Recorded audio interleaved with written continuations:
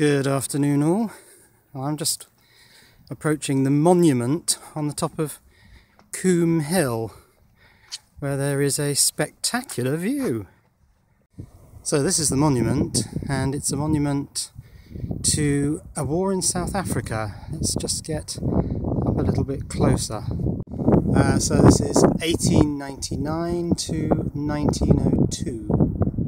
But there's a quite magnificent view here really 180 degrees around Aylesbury there straight ahead and then on this side Wendover.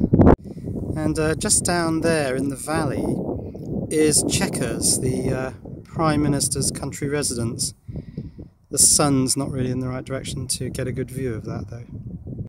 But uh, what I want to do up here is use this Ordnance Survey triangulation point to mount my FPV transmitter and then I'll wander off down one of these uh, routes to see how far the transmission extends with the receiver. So here's my little transmitter complete with uh, video camera, also has a microphone on there and the antenna and some batteries and the receiver I'm going to use is this Diversity uh, 5.8 gig receiver with twin aerials. Now I did try doing this the other day, holding the camera and the receiver at the same time, but to be honest it was all a bit Heath Robinson and it didn't help that it was raining. Right, we're starting to get some breakup of the image now. Now the image is really poor anyway because, let me turn back towards the monument. The monument's up there but it's covered in mist. Yeah, the image is fine, let's keep going. What distance have we got, Brett? Uh, 90 metres. 90 metres. So now at 150 metres and it's mostly snow. Right, today is not the day for this because the uh, monitor receiver thing here is absolutely uh, soaking wet. So I'm abandoning today, I'll return on a better day. So now I've come up with this contraption, which is a metal bar.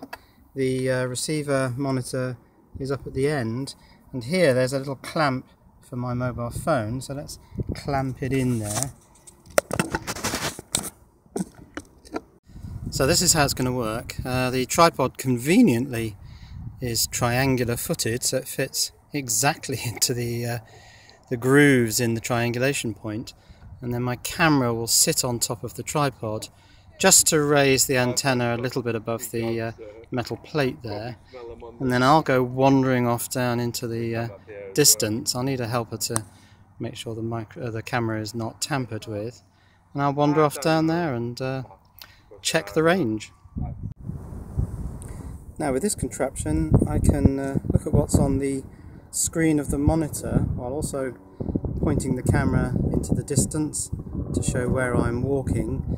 There are some issues today because it's sunny uh, with the camera not really picking up the image on the monitor because of the difference in light levels. So this is how it's going to work. I'm going to go wandering off with this gadget.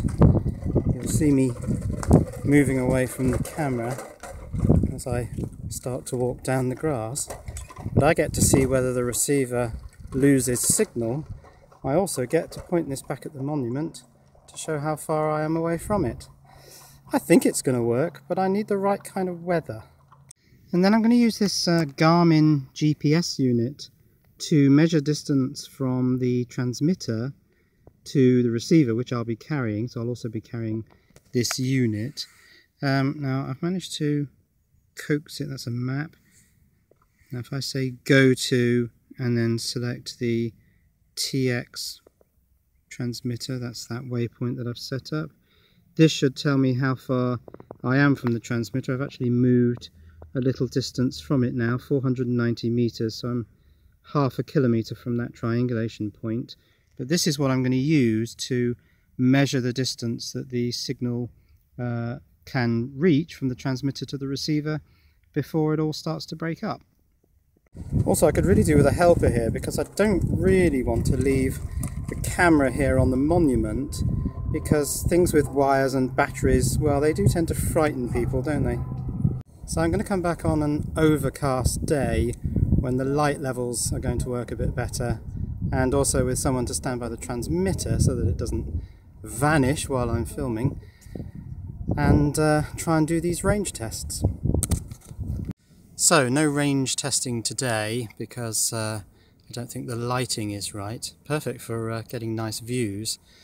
But uh, I'll be back in a day or two with a helper and uh, on a day when it's dull overcast, which I think will give me the best chance of seeing the LCD monitor, and I'll start doing these, uh, these range tests.